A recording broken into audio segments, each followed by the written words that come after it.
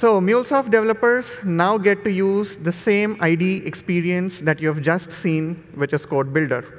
And to show you more, I would want to invite Akshata Sawant, developer advocate MuleSoft, to the stage. Thanks, Aditya. Hello, everyone. I'm super excited to be here at my first Dreamforce and to share all the MuleSoft updates with y'all. Cool. So Akshata, tell me, as a MuleSoft developer, mm -hmm. what is the tool that you're currently using to build Mule apps? And what's this whole new IDE experience about? Yeah, so we have been using Anypoint Studio, which is an Eclipse-based IDE, for a very, very long time. But thanks for sharing all the tooling with us. We now have a brand new IDE called as Anypoint Code Builder, AKA ACB, which will be helping us with build a Mule application. And as we have just seen, it's similar to what Ananya has just shown with the code builder, and it's also built on top of same tech stack. And I'm so excited that all Salesforce developers wanting to learn MuleSoft because now we have a consistent IDE. All right, that sounds cool. And by the way, ACB is a cool acronym. Yes. how about you show all of us how we can work with ACB? Sure, let's bring in the demo.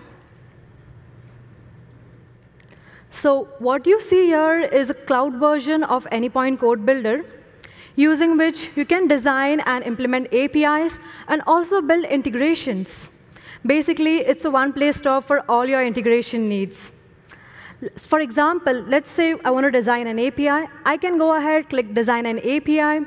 I can further fill in the information, design an API, and scaffold it further to build a Mule application.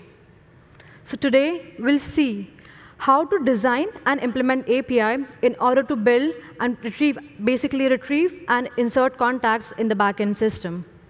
So let's get started. What you see here is a Mule project, an existing Mule project consisting of a RAML file to define your API specification.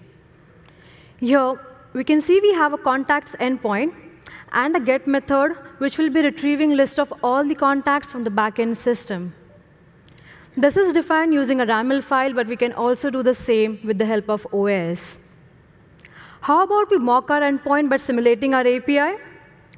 Let's bring in the API console and go to our endpoint and mock the service.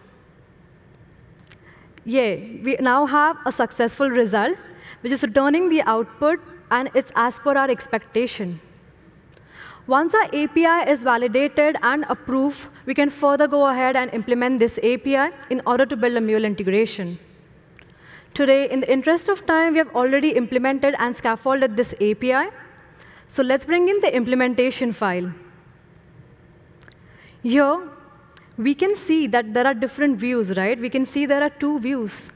Let's give it a time. Yeah. So we have two views, which is graphical and the XML view.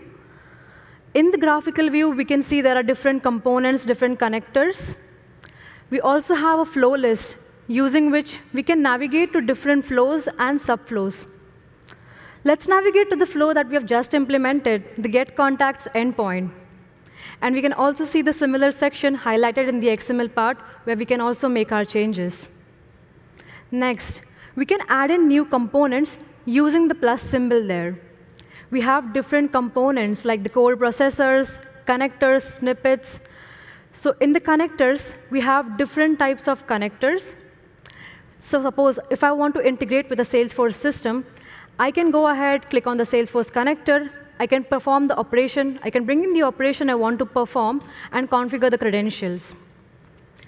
Next, we also have snippet files. So basically, Snippets are going to help you to reduce the code block and help you with the development time. And this is a very new feature. Apart from that, we have like two types of snippets, like user-based and the built-in snippets. And that's not all. You can also integrate with any third-party system by bringing in the connectors from the Exchange, which are available for free.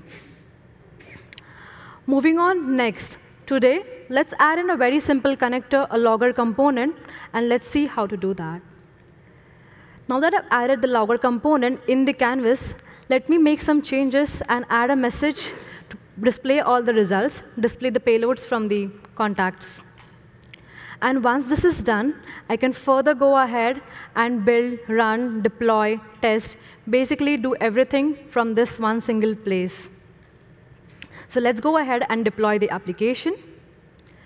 And suppose if in future, if you want to make some changes to your existing API, you can go back to your YAML file, make some changes, and further scaffold it to build a mule integration. And you can do that simultaneously with the help of iterative scaffolding.